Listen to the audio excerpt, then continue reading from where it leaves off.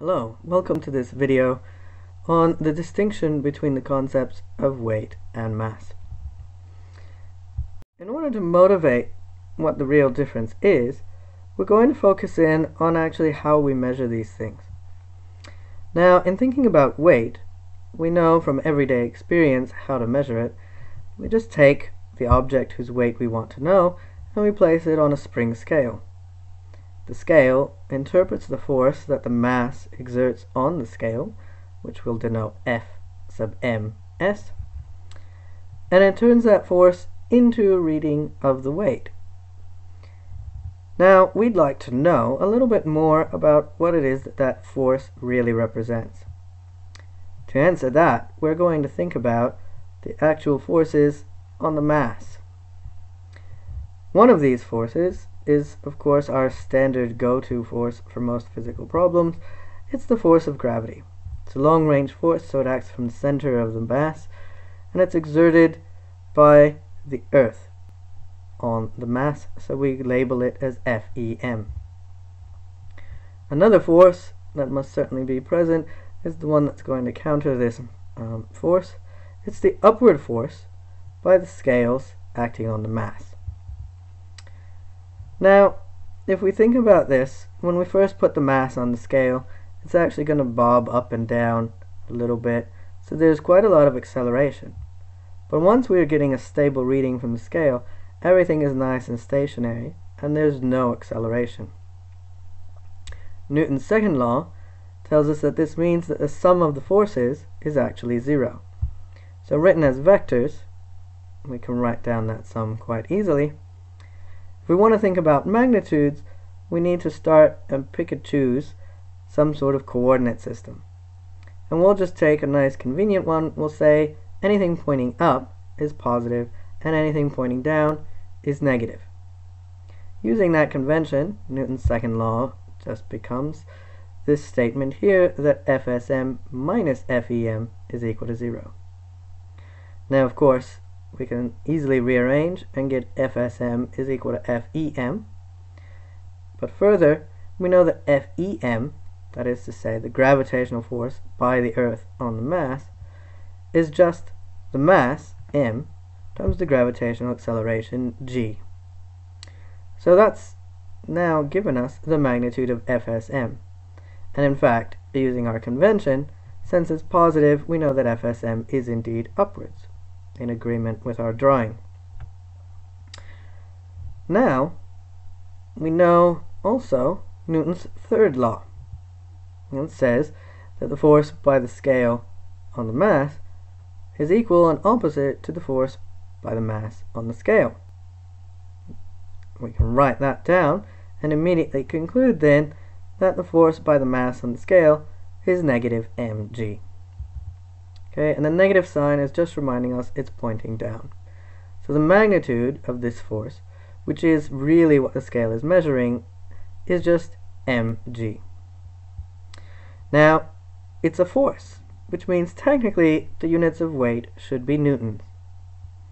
But the scale actually is calibrated in a certain way, we'll talk about how in a little bit, and therefore converts this somehow into some information that's supposedly talking about mass and therefore has the units of kilograms. But let's see what the correct way to measure a mass would actually be. And the way to do that is to use something like this, which is a pan balance. The pan balance is two different pans attached to a bar that pivot on this little triangular support in the diagram. And the way it works is you place your unknown mass, the capital M, onto one pan, and you stack a bunch of known masses onto the other pan, and try to get them to balance. So let's explore the forces here and see what this is measuring and how. So let's assume that the unknown mass again is capital M, but the total of the masses on the left will just denote by little m. Okay, in this case, the forces that we need to draw in are exactly like they were for the spring scale, except we'll draw one in, one set of these three different forces in for each pan. So there those are. Now the next thing that we need to do is go through the same exact kind of thinking. We can apply Newton's second law because there's no acceleration if everything is nice and balanced. And so we can quickly actually determine these forces that we're interested in. The force by the collected known mass is little m on the scale, and the force by the unknown mass, capital M, on the scale. And those are just related to the masses times the gravitational acceleration again. Now, we haven't um, yet learned about rotational motion. We'll eventually teach you and explain where this comes from, but for now, accept that in order for this thing to not rotate, for the pan to not tip, those two forces that are being exerted on the pans must be equal.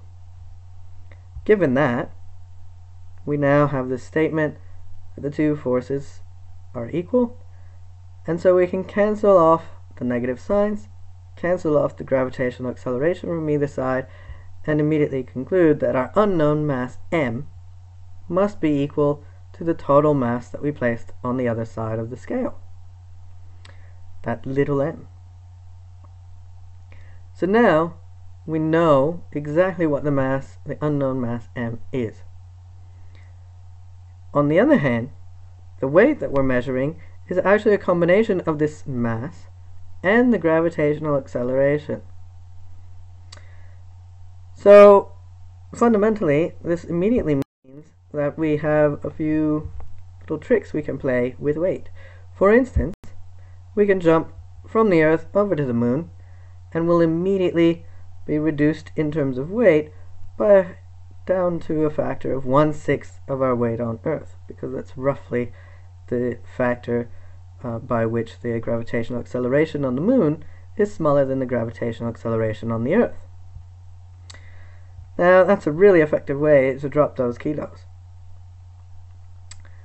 On the other hand, our mass hasn't actually changed. So mass is that fundamental quantity that describes how much material really is present.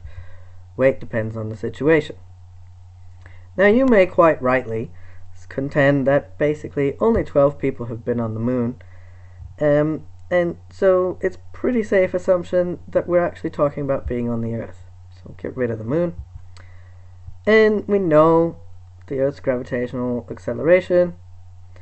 So it's fair enough to say that the weight, we can just know that g is 9.8 and scale everything back. And that's exactly what the spring scale does.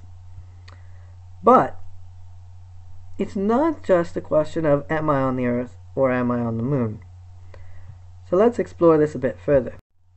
Suppose we put everything into an elevator and then we let that elevator accelerate upward. Question is, what changes? Well, actually, a whole lot of things change. All of our equations that we've written down there and just copied over are actually wrong. So why is that?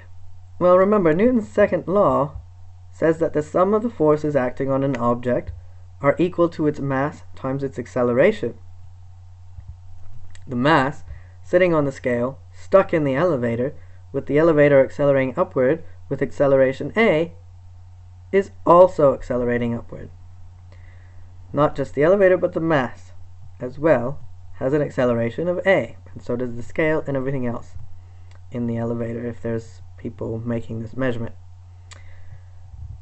So we have to amend our second law. The sum of the forces is equal to mass times acceleration. Now, again, remember our choice of convention. Up will be positive and down will be negative. So FSM minus FEM is equal to MA. When we rearrange this time, we have to keep that MA term around. FEM is still mg, so we can go ahead and put that in.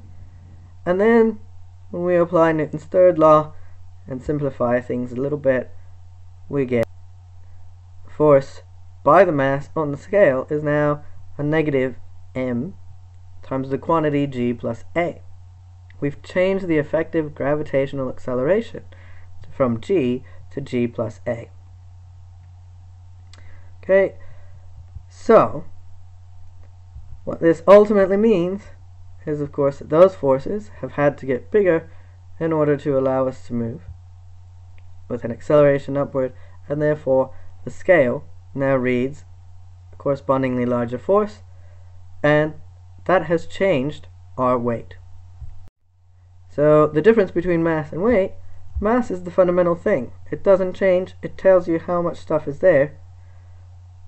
But weight, measured as the size of that force exerted by the mass on the scale, depends on not only the mass of the object, which is sort of what we're claiming it's talking about, but also the gravitational acceleration and any other accelerations present. Okay, so weight is a very situation dependent quantity. It's not at all a fundamental property, whereas mass truly is.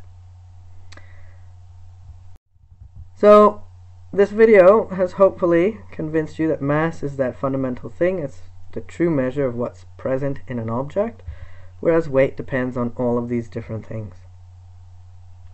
Hopefully this video has convinced you of that and has been helpful in explaining why that is the case, and to truly test whether or not it was successful in that goal, we can just turn to this food for thought, a couple of questions to think about. What happens if the elevator accelerates down at 9.8 meters per second squared? And what happens in space if you're so far away, off in deep space, that there is no gravitational acceleration? There's no gravitational force acting on you, but your rocket fires its thrusters and accelerates you at 9.8 meters per second squared. So have a think. Hope you enjoyed this video.